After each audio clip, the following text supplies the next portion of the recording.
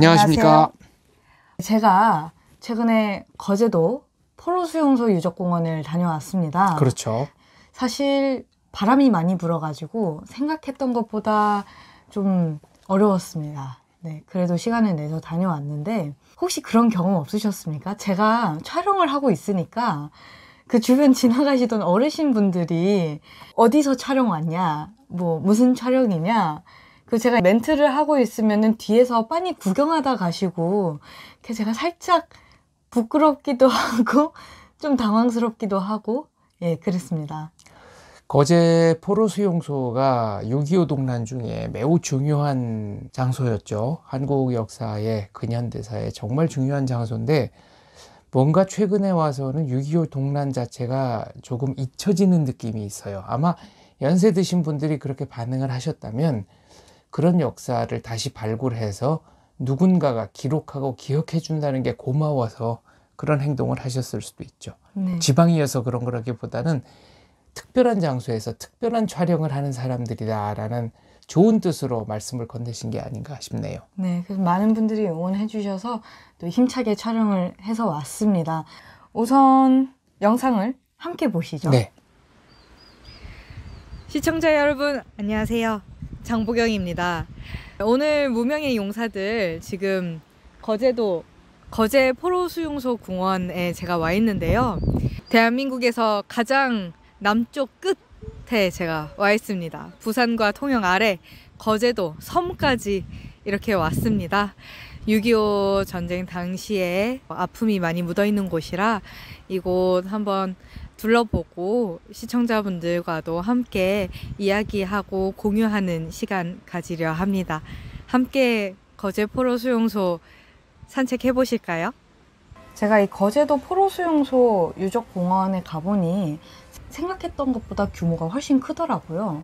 근데 그조차도 실제 거제 포로 수용소의 일부분만을 유적공원화 한 거라고 해서 깜짝 놀랐습니다. 근데 전국에 포로 수용소가 거제도에만 있었던 건가요? 거제도에서만 있었던 건 아니고 여러 군데 있었죠. 거제도는 다만 17만 명이 수용돼 있었던 가장 큰 포로 수용소였기 때문에 포로 수용소의 대표 선수 그래서 아직까지 기억이 되고 있는 것이고 52년 5월에 포로 수용소장이던 도트 소장이 그 공산주의자 포로들에게 납치를 당해서 며칠 동안 감금이 돼 있었어요. 그래서 그 이후에는 중공군 포로들을 제주도 포로 수용소론가 아주 분리를 해서 보냈습니다.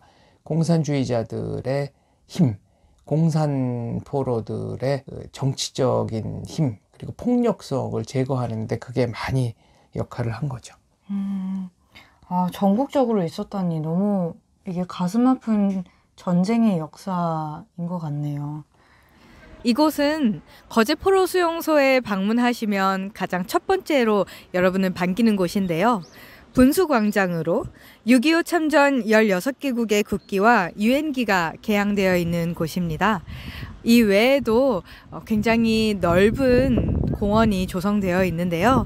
어제까지 비가 많이 내렸는데 다행히 오늘 거제도가 날씨가 맑습니다. 바람은 다소 불지만 네, 맑은 날씨에 여러분께 거제 포로 수용소 보여드릴 수 있도록 하겠습니다. 유엔군이 참전한 전쟁은 세계 역사상 6.25가 유일한가요? 유일하죠. 미국을 필두로 16개국이 참전을 했고 16개국 군대가 유엔군 깃발 아래 모여서 전쟁을 수행한 것은 6.25 동란, 아, 영어로는 코리안 워라고 그러죠. 이게 유일해요. 그런데 소련은 비토권이라는 게 있었죠. 그러니까 안전보장이사회에서 소련이 거부권을 행사하면은 유엔군이 올 수가 없었는데 천운이죠. 당시에 소련의 외무부 장관이 유엔 총회에 참석 중이었는데 심한 치통으로 그날 회의에 참석을 할 수가 없었어요. 그래서 소련의 거부권 행사가 불발이 되면서 아, 6.25 때 유엔군이 참전을 할 수가 있었던 겁니다. 음. 그리고 잠깐 이제 화면에도 나왔지만 메로디스 빅토리호 이른바 기적의 배라고 불리는 배죠. 흥남철수 때 영화 국제시장에 나왔던 네, 바로 그 유명하죠. 배입니다. 네. 무려 10만 명 정도의 인명을 구한 단일 배로서는 가장 많은 생명을 구한 배고요. 어, 그 배가 대한민국으로 항해하는 동안 대안에서는 여섯 명의 아이가 새로 태어났습니다. 아. 그래서 승무원들이 김치 1호, 김치 네. 2호라고 해서 이제 김치 6호까지 갔고 네. 이 배에는 유명 인사도 많이 타고 있었습니다. 두 명만 소개를 하자면은 문재인 대통령의 부모님 그리고 대전 성심당 빵집의 장원차 네. 이런 분들이 그 배에 타고 있었죠. 아.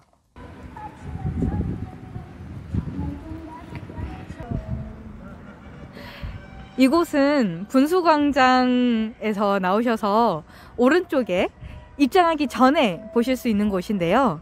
지금 보시면 흥남 철수 작전 기념비가 있습니다. 좀 가까이 가볼까요?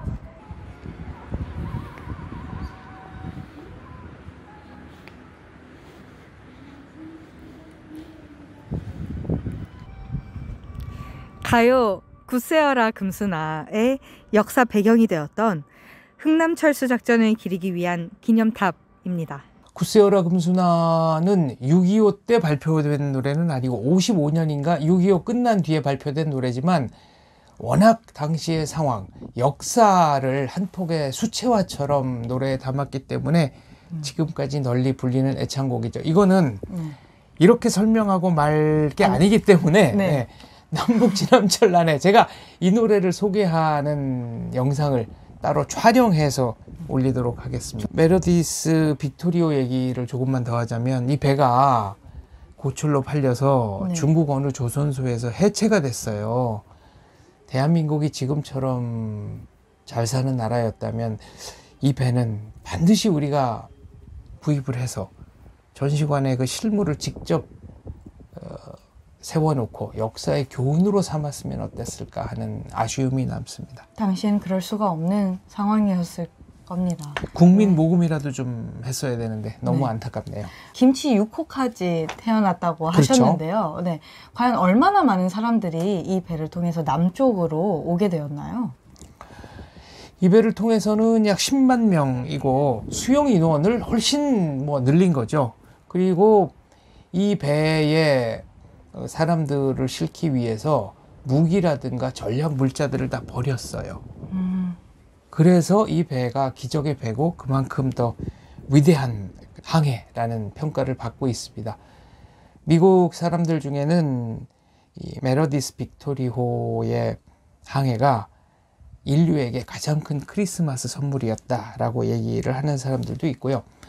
그런데 이제 몇 명이 넘어왔느냐를 따지려면은 6.25 때, 그리고 45년 8.15 해방 때부터 6.25 때까지 북쪽으로 간 사람도 있죠. 그렇죠. 뭐 수많은 문인들, 뭐 연극 배우들, 학자들 많이 갔어요. 사실이에요. 그리고 남쪽으로 온 분들도 그렇게 많죠. 몇 배나 차이가 날 것 같아요. 글쎄 그쵸? 생각해 본 적이 자, 그럼 없는데요. 질문. 북으로 간 사람이 많을까요? 남으로 온 사람이 많을까요? 그 당신 북으로 간 사람이 많다고 들었습니다. 북한에 더 네. 이게 이제 역사 교육의 문제인데 아, 아닌가요? 45년 8.15 해방부터 소련군이 진주하면서 지식인, 뭐 부자 이런 사람들을 탄압하기 시작했고 특동 종교인들에 대한 탄압이 굉장히 많았죠. 그래서 6.25 동란 때 북한의 폭정을 겪은 사람들이 많이 내려왔고 무려 16배가 더 많아요. 어, 북쪽으로 간 사람에 비해서 자진해서 남쪽으로 내려온 사람의 숫자가 16배가 많습니다. 이건 발로 하는 투표죠. 지금 말한 것처럼 남쪽이 훨씬 못 살고 산업 기반도 없었지만 그러나 사람들은 본능적으로 공산 치하에서는 살기가 어렵다라고 생각하고 목숨을 걸고 남하를 한 겁니다. 그 중에 굉장히 많은 분들이 흥남 철수 때 메러디스 빅토리오에 탑승해서 내려오기도 했죠. 아, 10만 명이 넘는 사람이 무사히 그 배를 통해서 구조되었다는 거는 구조되었다는 표현이 맞다면요. 그렇죠. 네, 그다는 거는 정말 이건 기적이라고 할 만하네요. 그렇습니다. 기적의 항해, 기적의 배죠. 이곳은 탱크 전시관인데요. 어, 표를 내고 입장을 하면 가장 첫 번째로 관람을 하실 수 있는 곳입니다. 북한군의 남침 선봉에 섰던 소련제 T-34 탱크 모형 속에서 6.25 한국 전쟁 및 포로 수용소의 역사적 현장에 대해 어, 관람하실 수 있는 곳입니다. 함께 들어가 보시겠습니다. 따라오시죠. 탱크는 대표적인 공격 무기고 6.25 당시에 한 맺힌 무기죠. 왜냐하면 북한은 수백 대의 소련제 탱크가 있었고 대한민국은 탱크 보유 대 수가 몇 대였을 것 같아요. 한 대도 없었어요. 아예 한 대도 아예? 한 대도 없었어요. 아니 병력 차이가 난다는 소리는 들었었습니다만 한 대도 없었다고요? 그렇죠. 그러니까 북한이 탱크로 밀고 내려오는 거를 어떻게 저지할 방법이 없어서 속수무책으로 당할 수밖에 없었고 그래서 육탄 용사들 그야말로 온몸으로 뭐 수류탄 하나 가지고 가서 어, 탱크를 저지하고 전사하신 분들도 이때 많이 나왔죠.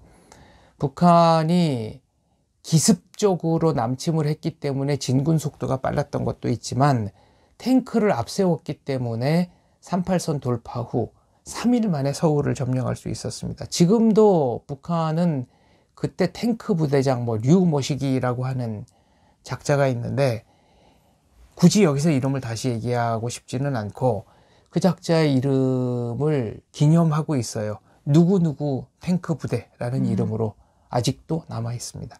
그 사람이 서울을 북한군이 점령할 때 탱크 부대를 이끌고 가장 먼저 입성한 사람이에요. 탱크 전시관 뒤쪽으로 왔습니다. 포로 수용소 디오라마관인데요. 국내 최초의 단일 최대 규모 디오라마관으로 거제도 포로 수용소의 배치 상황, 생활상, 폭동 현장이 생생하게 재현되어 있는 곳입니다.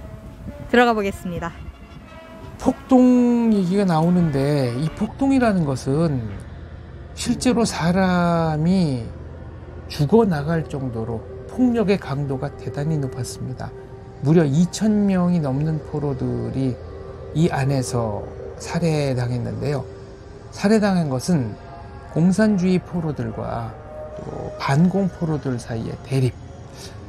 이게 상당히 심각했습니다. 그리고 여기를 정치 선전의 도구로 삼았던 사람들이 있었기 때문에 이 대결은 격화될 수밖에 없었어요. 실제로 내부에 들어가서 보면은 철조망을 가지고 당시에 만들었던 무기, 포로 수감자가 숨기고 있던 칼 등등의 그 현장에서 발견한 무기들도 전시가 되어 있습니다. 나중에 중공군 포로들을 제주도로 다 옮겨놓고 나서 보니까 자기들끼리 그 안에서 사령부도 만들어 놓고 있었고 몰래 구조 변경을 한 거죠.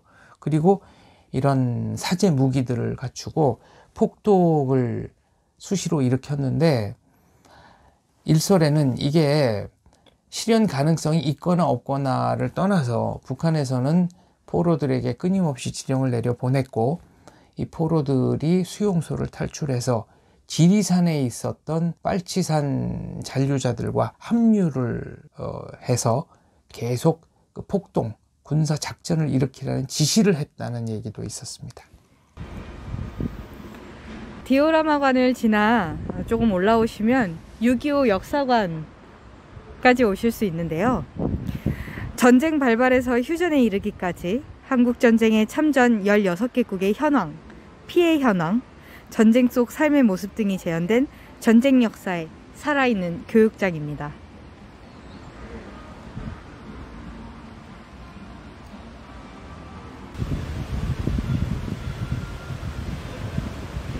저는 지금 MP 다리 위에 서 있는데요. 현병 초소가 지켜선 이 다리는 포로 출입의 주요 관문이었습니다. 긴장된 전쟁의 그림자가 휘감고 있는 이곳을 통과하면 포로들의 생활을 경험할 수 있는 포로 생활관으로 쭉 이어지게 됩니다. 다리를 건너서 포로 생활관까지 들어가 보겠습니다.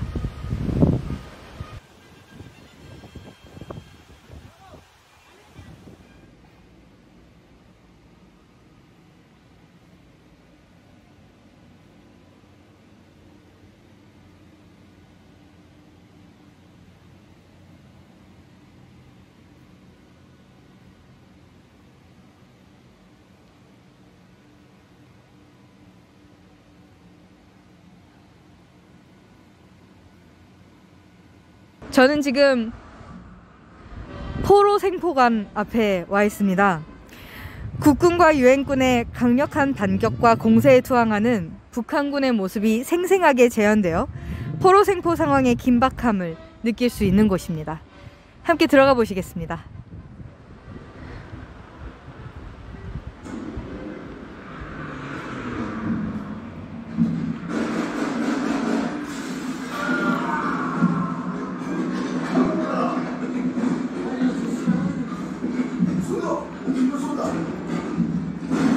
금발의 군인이고요.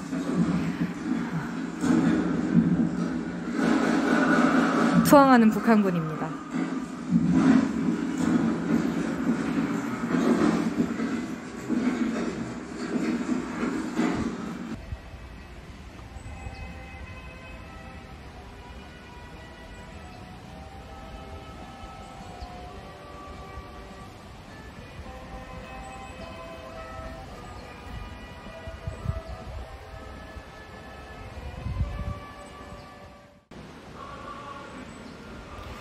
지금 여자 포로관 앞에 와 있습니다.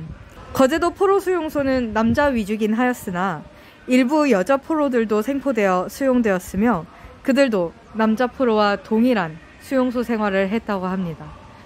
들어가 보겠습니다. 여자 포로도 당연히 있을 거라고 생각은 했지만 그 현장을 제가 직접 보니 좀 많이 당황스럽더라고요. 숫자가 많지는 않았지만 여자 포로 수용소도 있었고 여자 포로 수용소는 세 군데 이상 운영이 됐던 걸로 알고 있습니다. 게르튜드 스왈론 보켈 한국 이름은 옥귀철 선교사 옥귀철 선교사님. 네. 에, 남편은 옥호열 선교사 네. 부인은 옥귀철 선교사 다들 한국 이름이 있으세요? 네. 그런데 옥귀철 선교사께서 바로 여자 포로 수용소를 다니면서 적극적으로 선교를 하신 분이에요. 음, 근데 왜 이분이 북한군 여성 포로들에게 큰 환영을 받았느냐? 고향이 원산이기 때문에 그렇습니다. 강원도 원산이요. 지금은 그렇죠. 지금 북한 행정구역으로는 강원도 원산이고 네. 예전 행정구역으로는 함경남도 원산이죠. 거기가 어떻게 고향이 되실 수가 있으시죠? 그러니까 부모님이 선교사로 와서 근무를 하면서 거기서 태어난 아이인 거죠. 아. 그래서- 태생에 그럼 부모님의 국적이 미국. 미국이시고. 이분도 미국 사람. 네. 그래서 대학을 다니려고 미국에 갔다가 네. 그 보켈 선교사 남편인 오코열 선교사를 만나셔가지고 네. 두 분의 또 첫 사역 발령지가 조선. 그래서 안동으로 가셨나? 그러니까 오코열 선교사께서는 나는 처가가 원산인 진짜 한국 사람이다라는 아. 얘기를 한 거죠. 이북 사투리를 옥귀철 선교사가 너무나 능수능란하게 구사했기 때문에 생각해 보세요. 태어난 데가 원산인데 그렇죠. 네이티브죠. 네이티브죠. 그래서 여자 포로들이 마음을 열고 네. 할수 없는 얘기도 다 털어놓고 그 증언에 의하면은 부모님이 기독교도였던 경우에는 혹시나 가서 전투를 하다가 포로로 잡히면 우리 생각은 하지 말고 돌아올 생각하지 말고 신앙의 자유가 있는 남쪽에 남아라. 이렇게 얘기를 듣고 온 포로들도 있었다고 합니다. 여성 포로관을 지나 포로 사상 대립관을 지나 지금은 포로 폭동 체험관 앞에 서 있습니다. 포로 수용소에서 벌어졌던 친공 포로들의 폭동과 친공, 반공 포로들 간의 격돌 장면이 재현되어 긴박감과 위기감을 생생하게 느낄 수 있는 곳입니다. 수많은 사람이 6.25를 통해서 죽었는데요. 네.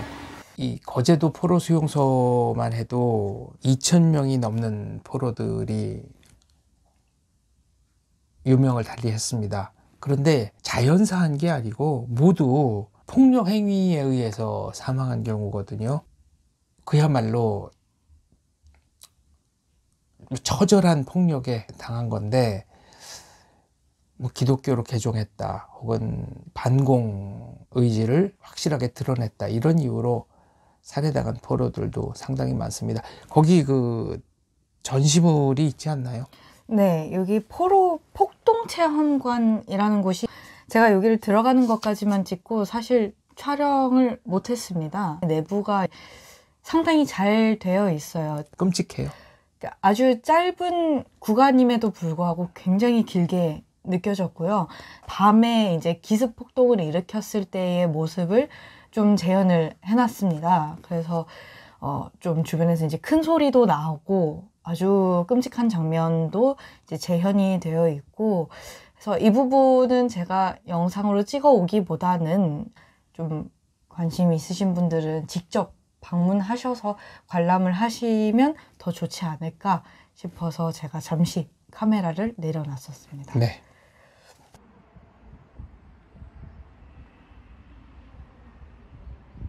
저 앞에 작은 기념비가 보이십니까? 미국 해군 군의관 순직 기념비입니다.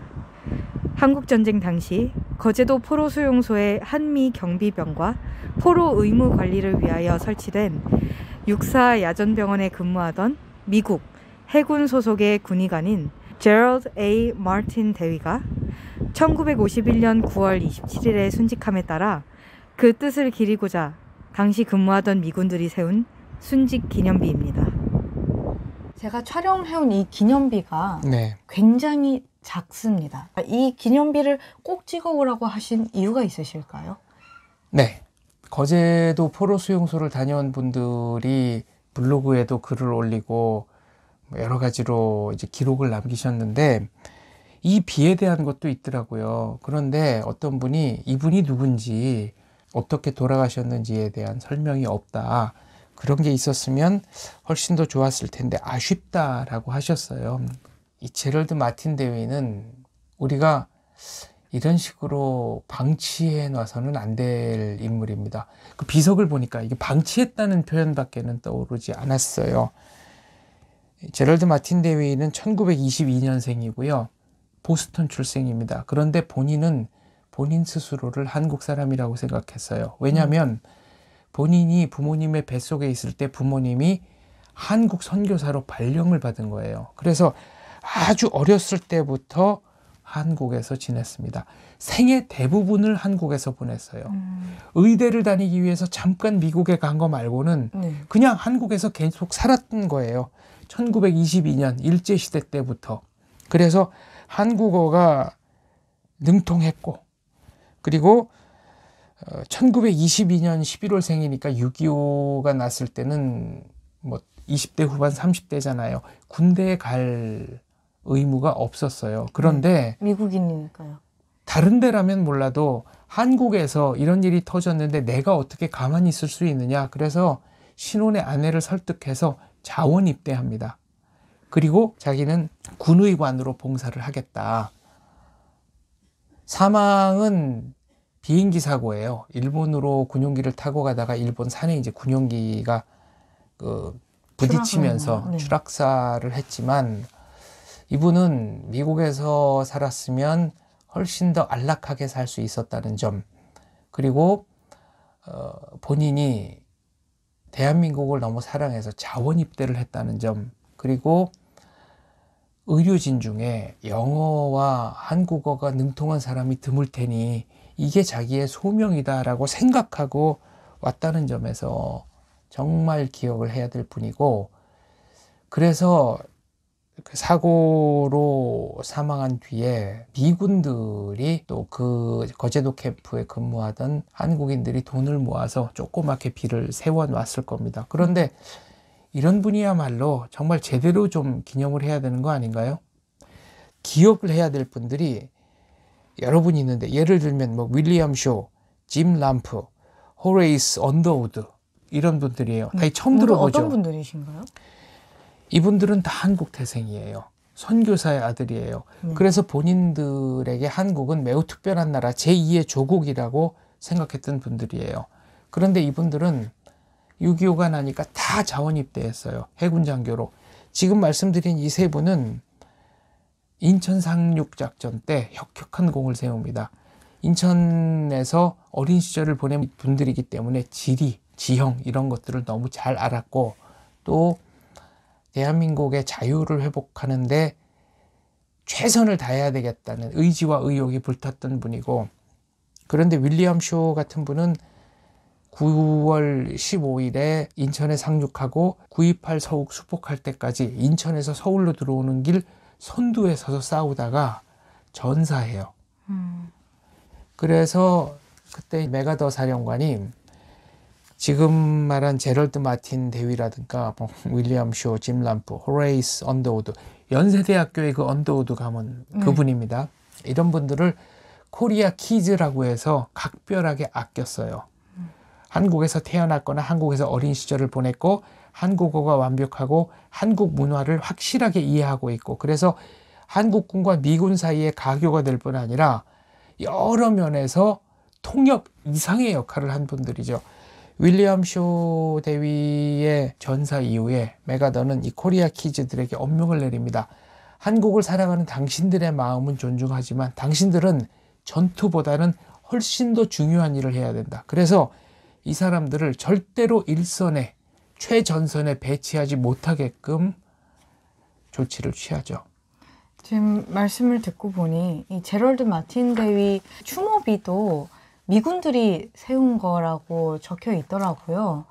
그렇죠. 직접 예, 대한민국에서 어떤 위령탑을 세우거나 한 것이 아니라 미군들이 음. 그 당시에 작게 세운 그 추모비가 그냥 그대로 있는 거라고. 그렇죠. 52년인가 그럴 거예요. 그때 세워진 기념비가 그대로 있고 네. 안내판이 아주 작게 또 간단하게 되어 있었습니다. 이런 자세한 그분의 생애라던가 예, 어떤 업적이라던가 그런 부분에 대해서는 다소 부족한 설명이 되어 있지 않았나 싶은데 네. 예, 지금 설명을 듣고 나니 어, 좀 초라하게 보였던 그 기념비가 더더욱 좀 죄송스러운 마음이네요.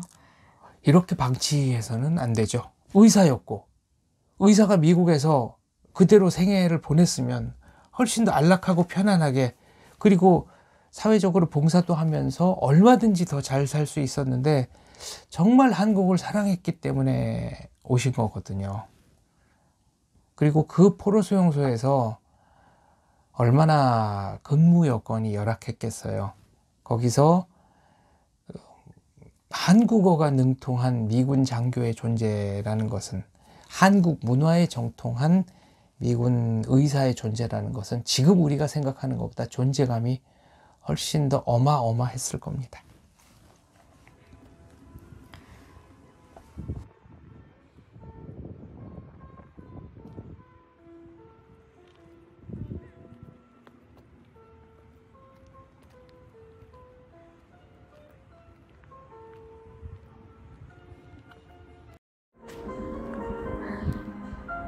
포로 막사의 취사장이네요.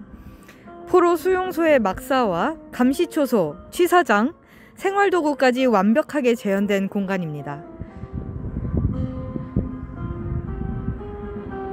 아, 철조망 보이십니까?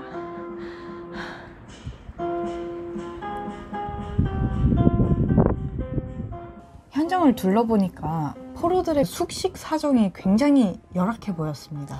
열악하죠. 그런데 지금 우리의 생활과 비교하면 매우 열악하지만 다른 포로 수용소의 사정과 비교하면 어땠을까? 예를 들어 2차 대전 당시에 일본군이 운영했던 포로 수용소, 2차 대전 당시에 연합군이 운영했던 포로 수용소, 그리고 6.25 동란 중에 북한이 운영했던 포로 수용소와 비교한다면 거제 포로 수용소의 상황은 열악하다고 말할 수는 없죠. 포로 수용소는 포로 수용소끼리 비교하는 게 맞겠죠. 어, 맞겠죠. 그리고 여기서 근무를 했었던 원로분 말씀을 예전에 들은 적이 있는데 초창기에는 미군들이 미군들을 기준으로 배식을 하는 바람에 오히려 포로들이 밥을 더 많이 먹고 바깥에 있는 한국군 병사들이 배고픔을 참아가면서 경비를 서는 그런 어처구니 없는 일까지 예, 있었다라는 얘기를 들은 적이 있어요.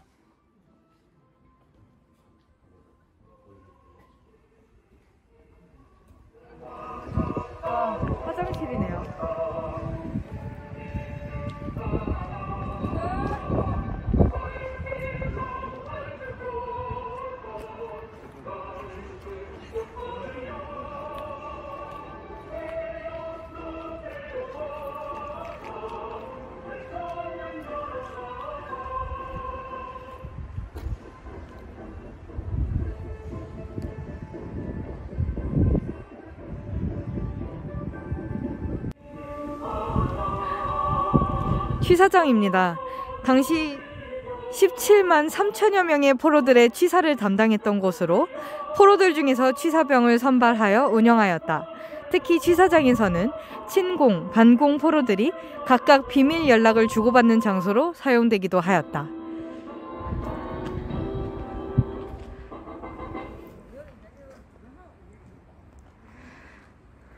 거제도 포로 수용소 내에서는 포로들 간의 친공, 반공 이념 대립으로 수많은 젊은이들이 무참하게 살해되었습니다. 이 위령탑은 당시 친공, 반공 간의 이념 대립에서 희생된 2천여 명의 전쟁 포로들의 영혼을 위로하기 위해 건립되었다고 합니다.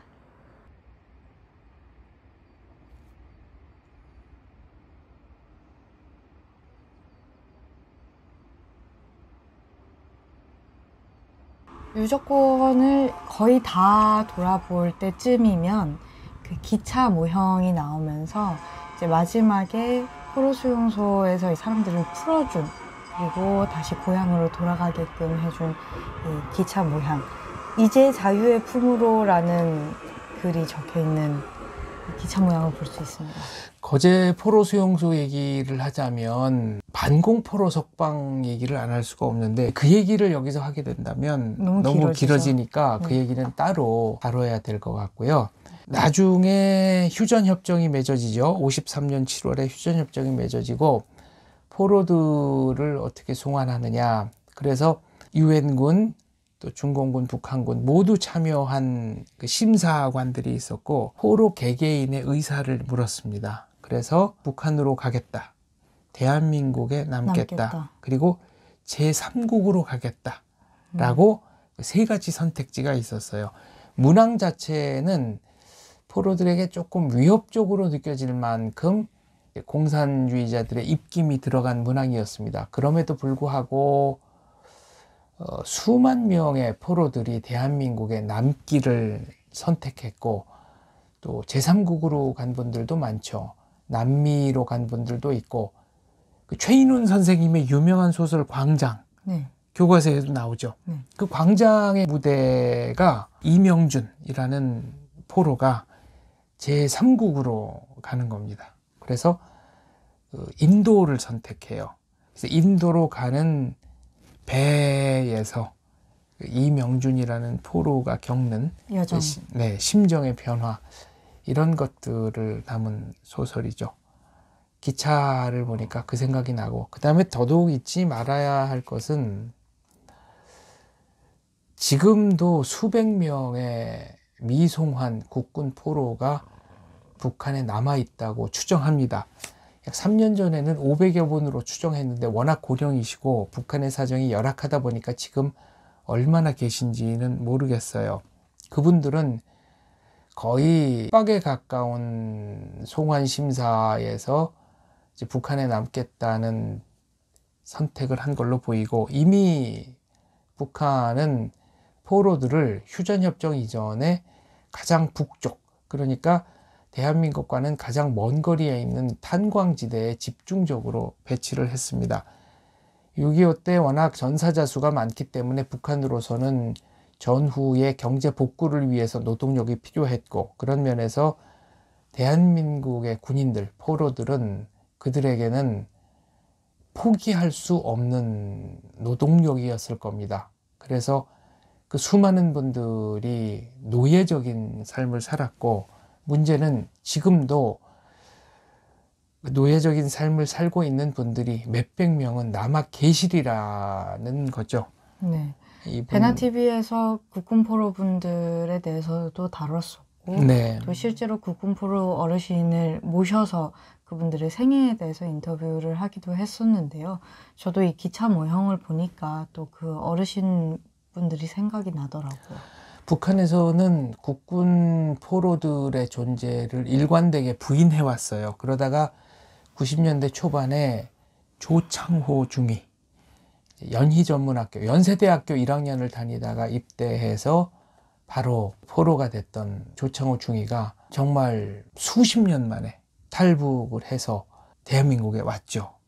극적이었어요. 그것도 중국 사람이 이제 다리를 좀 놔줬는데 왔다 갔다 하던 그때 조창호 중위의 누님이 6.25 당시에 성신여대에 근무하고 있었거든요. 네. 그 주소는 모르지만 성신여대 조 누구누구 그 누님의 이름을 썼고 은퇴한 교직원이니까 찾아서 편지가 전달이 됐고 그 편지를 보고 동생의 생존 사실이 확인이 됐고 그래서 거의 자력으로 탈출을 해오셨죠. 조창호 중위의 귀순 이후에 국군 포로들의 존재가 전 세계에 널리 알려졌습니다. 그리고 어, 베나TV에도 저희가 여러 번 인터뷰를 했지만 벌써 그 사이에도 여러분이 돌아가시고 그래서 안타깝습니다. 정말 몇 분 안 남았습니다. 그 시간이 그렇게 많지 않은 것 같은데 이분들 빨리 대한민국으로 모셔오고 그에 상응하는 보상도 반드시 이어져야 할 거라고 그- 생각합니다. 일생을 어떻게 보상을 할 수 있겠냐 맞는. 보상이 불가능하죠. 네. 그러나 대한민국을 잊지 않고 언젠가는 나의 조국이 나를 반드시 구해줄 것이다라는 믿음을 아직까지도 품고 살아가는 분들을 대한민국은 외면해서는 안 된다고 생각합니다. 이렇게 거제포로 수용소를 모두 어, 둘러보았는데요. 시간 되시는 분들은 한 번쯤 방문을 해보시면 좋을 것 같습니다. 오늘의 영상을 통해서 조금 더 전쟁의 참혹함과 어, 아픔에 대해서 느낄 수 있는 시간이 되었으면 좋겠습니다. 너무 가슴 아픈 역사의 현장을 뭐 조금이나마 둘러본 것 같은데 이곳 외에도 위령탑이라든지 추모비라든지 전국 각지에 정말 많다고 들었습니다. 여기처럼 이렇게 잘 좀 보존되고 정리된 곳도 있겠지만 또 이만큼 보존되지 않은 조금은 방치된 곳도 많다고 들었어요. 그런 곳을 제가 전국 다니면서 한 곳 한 곳 모두 시청자분들께 알리려고 합니다.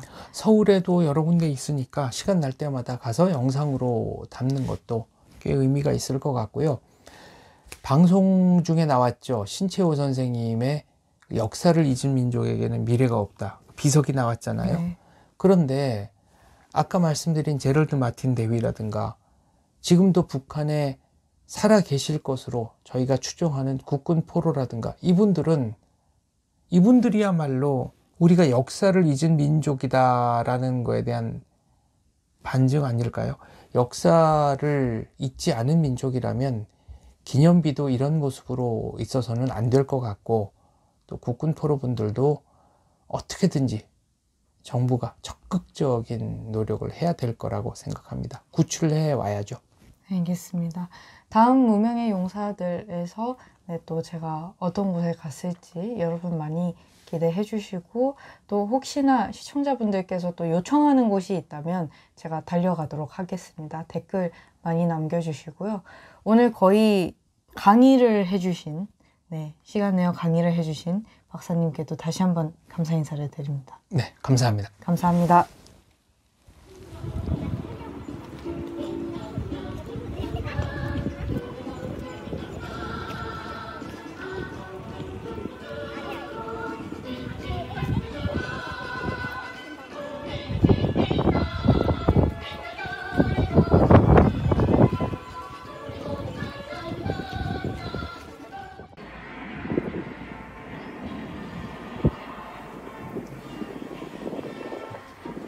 어서 오세요. 뭐 구매하실 물건 있으신가요? 어, 지금 이곳은 평화파크 입구 앞인데요. 거제포로 수용소 바로 옆쪽에 있습니다. 거제포로 수용소 관람까지 모두 마치신 분들 어, 시간이 남으신다면 이 옆쪽에 평화파크까지 함께 관람하시면 좋을 것 같습니다. 현장에는 유적 공원뿐만 아니라 다양한 박물관과 사진전 등등이 이루어지고 있었는데요.